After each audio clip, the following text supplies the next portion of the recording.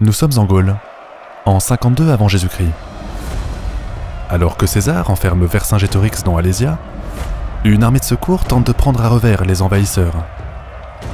Les Romains sont pris à leur propre jeu. L'assiégeant devient l'assiégé.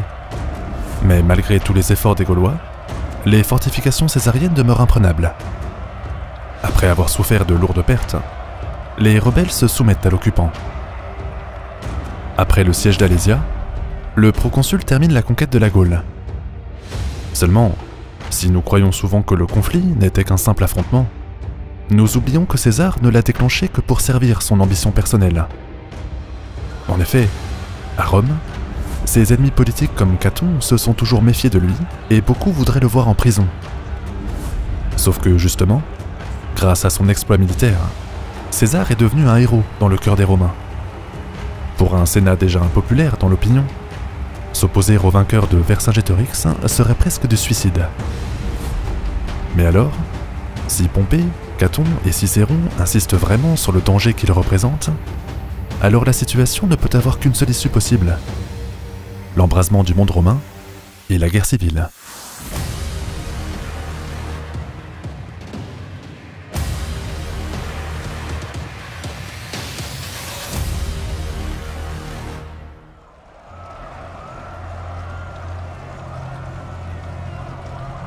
En l'an 51 avant Jésus-Christ, Jules César termine la conquête des Gaules. Après huit années de conflit, ces légions parcourent le territoire celte pour pacifier le territoire, pour écraser les derniers opposants et pour installer des chefs favorables à Rome à la tête des tribus.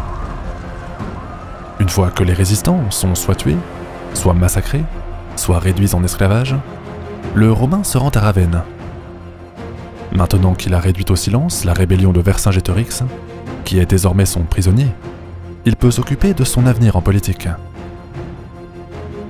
Comme nous l'avions dit dans la série sur la guerre des Gaules, César est le proconsul, c'est-à-dire le gouverneur, de trois provinces qui sont l'Illyrie, la Cisalpine et la Transalpine.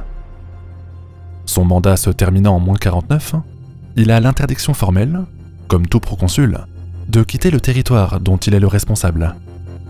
En aucune manière et sous aucun prétexte, il ne peut traverser le Rubicon, la rivière qui marque la frontière de sa province. Mais alors, comment les Romains réagissent à la nouvelle des conquêtes de César? Comme on pouvait s'y attendre, les citoyens accueillent la victoire avec une joie particulière. La Gaule, depuis Brennos en moins 390, un chef gaulois qui avait ravagé la capitale, est perçu comme un pays dangereux, menaçant et indomptable. Dans l'imaginaire collectif, en terrassant Vercingétorix, César vient d'apporter la sécurité à tous les Romains. Une célébrité qui contraste avec l'impopularité du Sénat, qui n'a plus la faveur des habitants.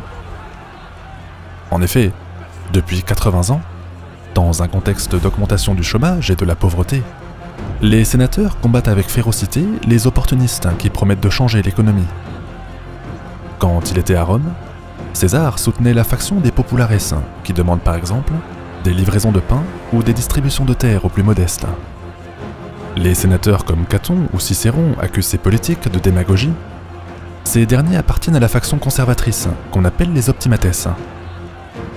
Depuis près d'un siècle, les deux camps se déchirent en se livrant à des guerres civiles, à des assassinats, à des meurtres ou des complots. Les optimates semblaient avoir gagné la partie, mais des problèmes d'approvisionnement à Rome pendant les années moins 50 retournent le peuple contre son élite. La faim, la pauvreté, la misère frappent encore la capitale, et les citoyens voient en César un homme providentiel.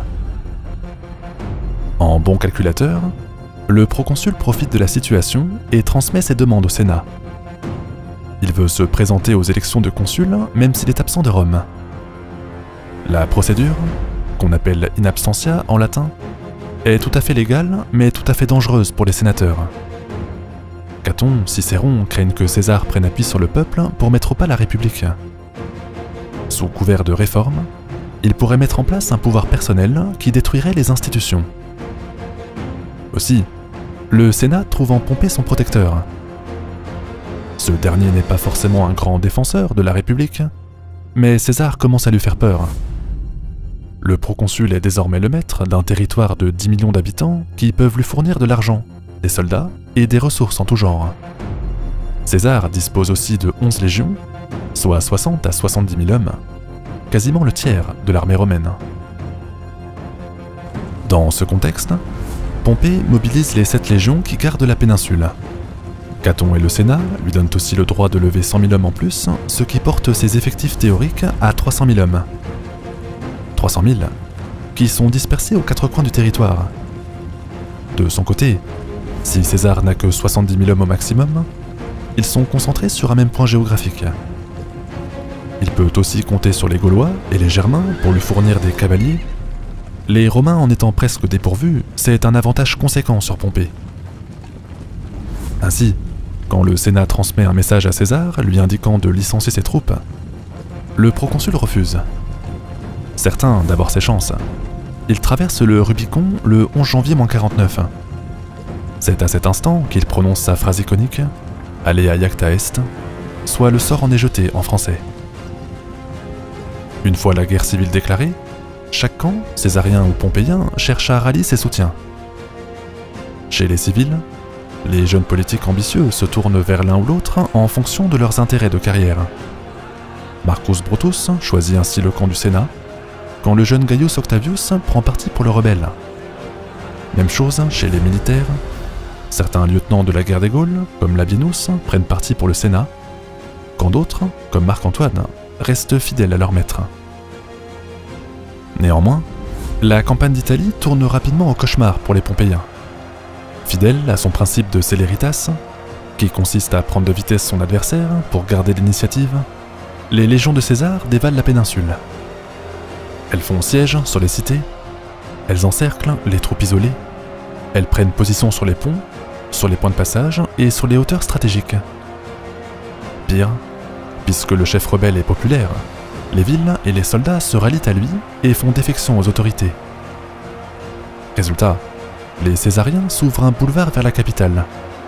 En catastrophe, Caton et Pompée prennent alors la fuite vers Bridès, mais leur ennemi les poursuit et encercle rapidement la ville. Lors de l'assaut, les protecteurs du Sénat parviennent à s'échapper de justesse. Cependant, dans la précipitation, ils laissent derrière eux un véritable trésor, 1400 kilos d'or et 300 000 kilos d'argent tombent entre les mains de César. Bref, en 60 jours et contre toute attente, les rebelles s'emparent de la péninsule. La Blitzkrieg, version romantique, contraint les Pompéiens à l'exil en Macédoine.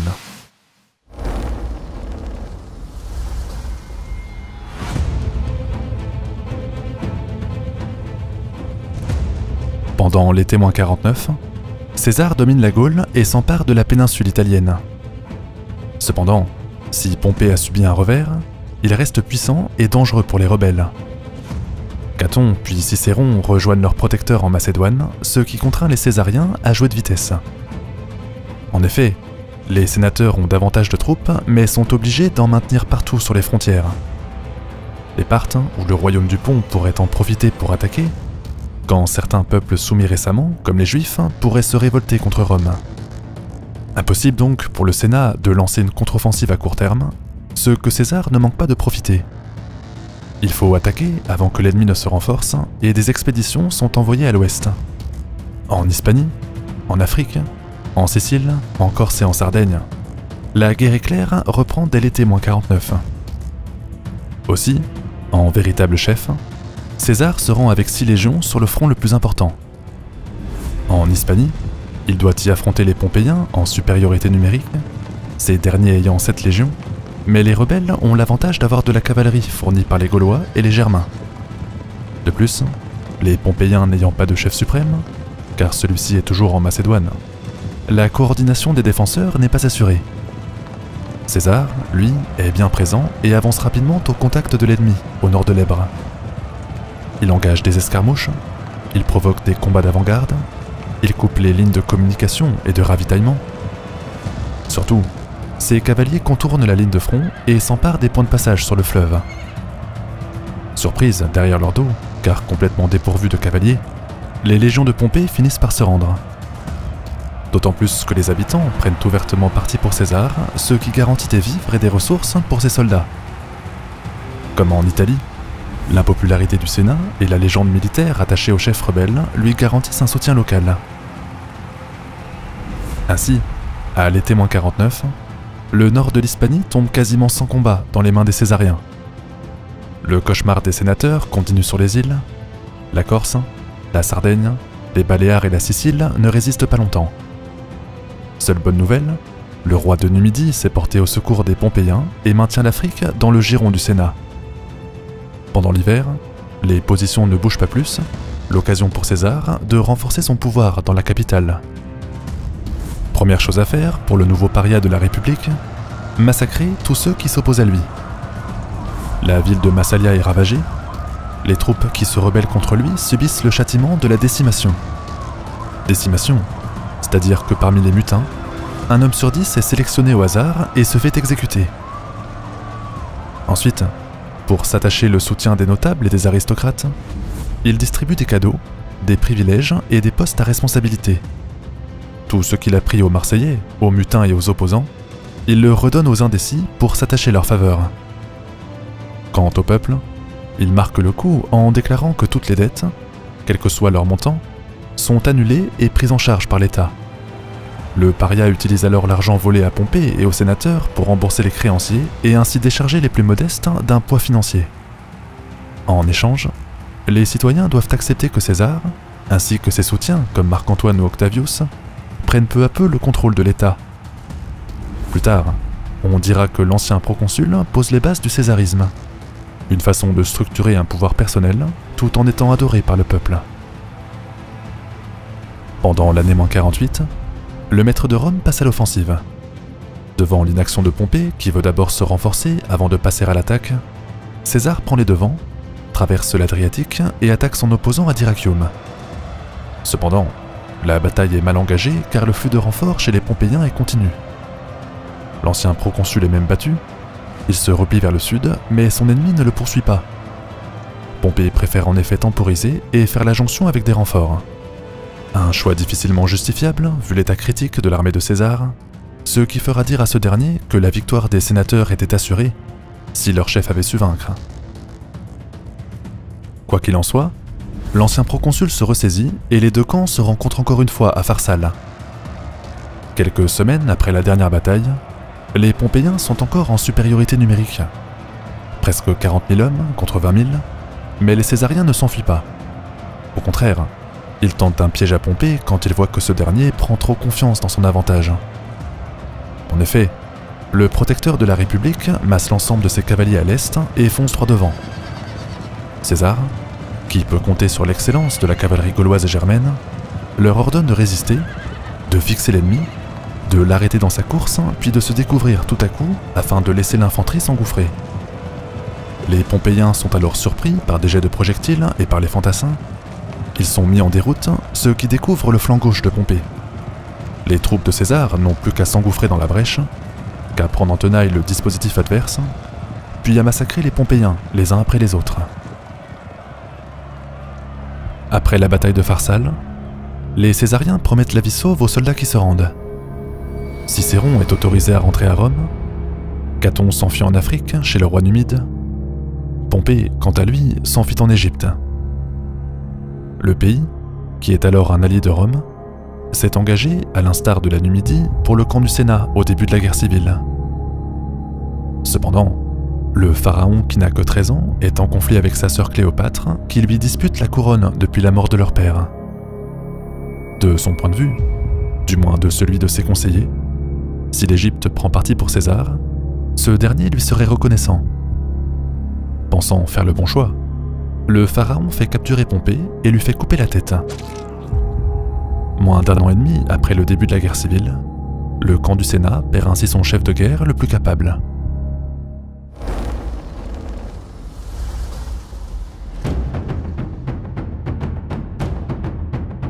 En septembre 48, la guerre civile semble déjà gagnée pour César. Caton s'est réfugié en Afrique sous la protection du roi numide Cicéron est rentré à Rome, mais se réfugie dans sa villa et n'en sort plus. Quant à Pompée, il vient de trouver la mort par décapitation. Les provinces d'Orient, qui sont favorables au Sénat, se retrouvent orphelines de leur chef et sont vulnérables à une attaque. Profitant de ses succès, César se rend en Égypte. Il découvre alors avec horreur la tête de son ennemi qu'on lui présente et la légende veut qu'il ait versé des larmes. Quoi qu'il en soit, il rejette l'alliance avec le pharaon et se tourne vers sa sœur Cléopâtre. La reine, dont on dit qu'elle a charmé son hôte lors d'une visite improvisée, lui propose des conditions bien plus avantageuses. D'abord, Cléopâtre lui propose un fils, car César n'a pas d'héritier. Ensuite, grâce à leur union, l'Égypte deviendrait un territoire vassal de Rome. Enfin, et de loin le plus important, le royaume de Cléopâtre, dont les terres sont très fertiles, enverrait des tonnes de nourriture vers la capitale. César serait ainsi assuré de livrer du blé et du pain à tous les Romains. Il réussirait là où le Sénat a toujours échoué. Assurer la sécurité alimentaire de l'Italie avec des produits peu chers, voire complètement gratuits. Sans sourciller davantage, l'ancien proconsul fait marcher ses légions sur Alexandrie et déclare la guerre au pharaon. Avec l'aide de Cléopâtre, César vient à bout des résistances dès le mois d'avril 47.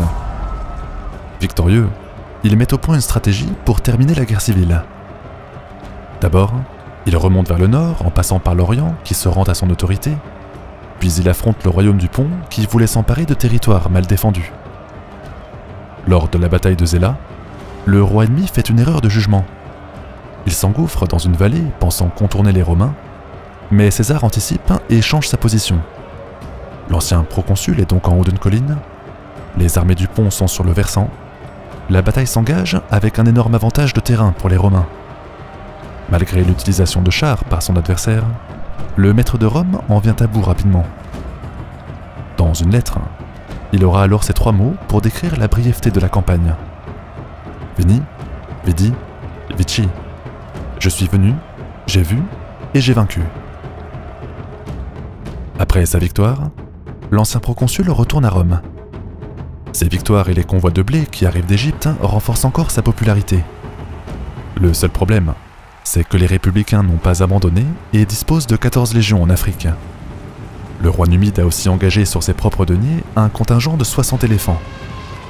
César, qui ne peut rester sans rien faire, recrute des archers crétois. Pas le choix, face aux pachydermes, il faudra tirer des volets de flèches en espérant leur percer la peau. Débarquant vers janvier 46, il consolide une tête de pont, souffre quelques défaites face à Labinos, mais le soutien de Marc-Antoine et d'Octavius lui permet d'établir une position forte. Mieux, la popularité de César crée encore des ralliements de soldats, si bien que les républicains s'affaiblissent de jour en jour. Vers le mois d'avril, les deux armées se rencontrent à Thapsus. Comme prévu, César ordonne aux archers de viser les éléphants. Néanmoins, ceux-ci résistent aux flèches et commencent à écraser tout le monde.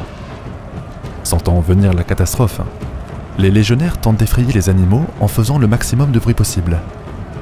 Des trompes, des tambours, des hurlements.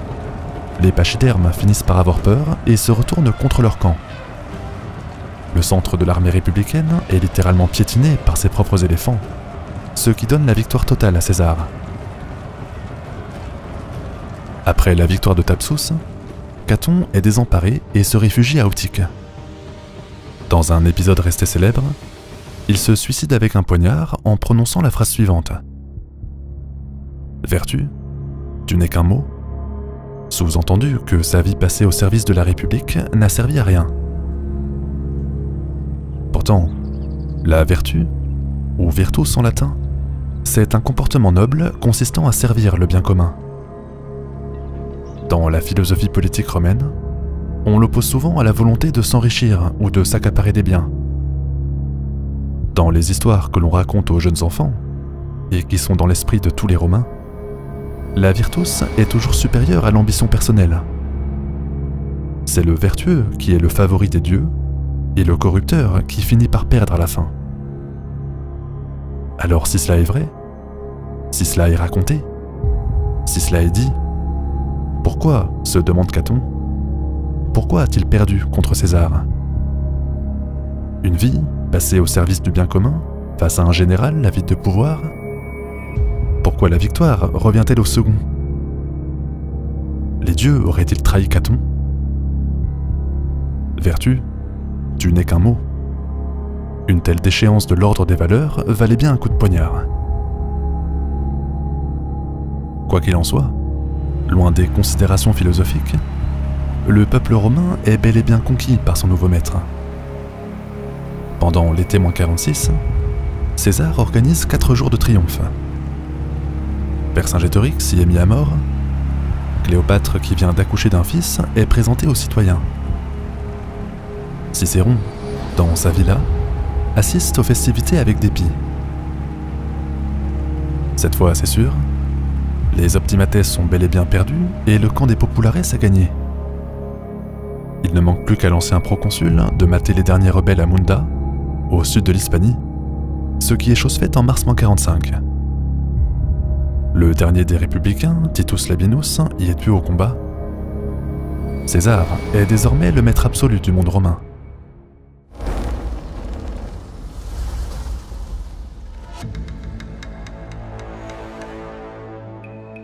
Après la bataille de Munda, César n'a plus d'opposants ouverts à son pouvoir.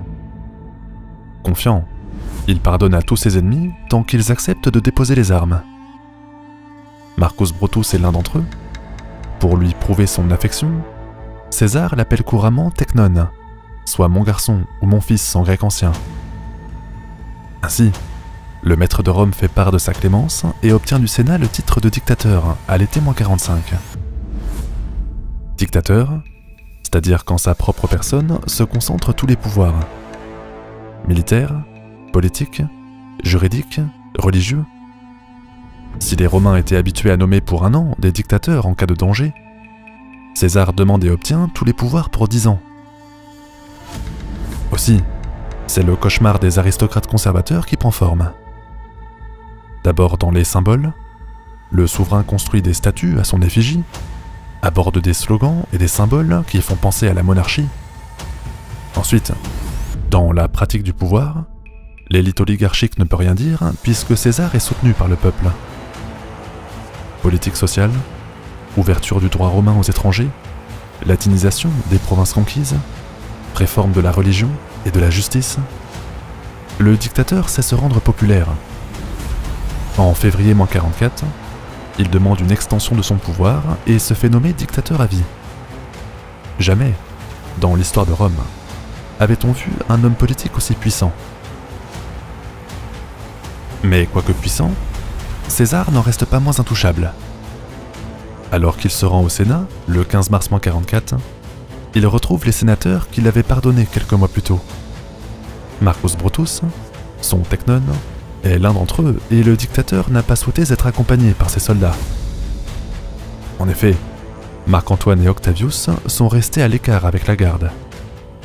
Ainsi, Jules César, le conquérant des Gaules, le terrasseur de la République, l'assassin de la vertu aristocratique, celui qui pourrait se faire nommer roi s'il le désirait, cet homme-là si puissant et si confiant reste sans défense et vulnérable.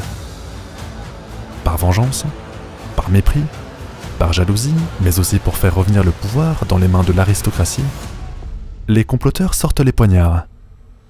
Ils frappent, ils frappent par 23 fois. Le dernier coup est donné par Brutus.